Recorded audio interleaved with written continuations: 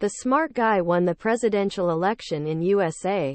He was a man of knowledge and charisma, leading the people with his grand vision.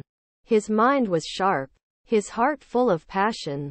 He spoke with confidence, articulate and clear, wielding a power to bring the nation near. Dreams of a better tomorrow. He held in his hand. He was the right man. For the right land. People all across the country saw him as their guide. He had the answers and wisdom to help them decide. His gentle but firm approach made him a leader of all. He wasn't just a candidate. He was a man of great gall. Youth and old alike celebrated his victory. The future of the country was something to see. He spoke of growth and progress. For a nation so great, his vision seemed like a clear path that couldn't be late.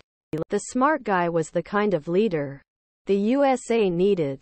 His intelligence and insight was something that exceeded. He was the right man, in the right place, at the right time, to bring forth stability and peace to a nation so sublime.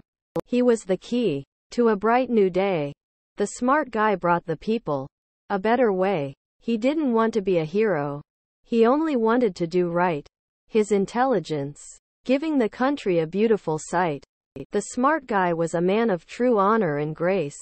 A leader who wanted the American dream to embrace. His message was clear, and his goal was quite loud. A better USA. It was something he vowed. The smart guy won the presidential election in USA.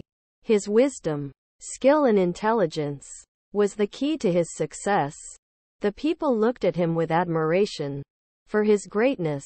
He was a leader of knowledge. His victory was nothing less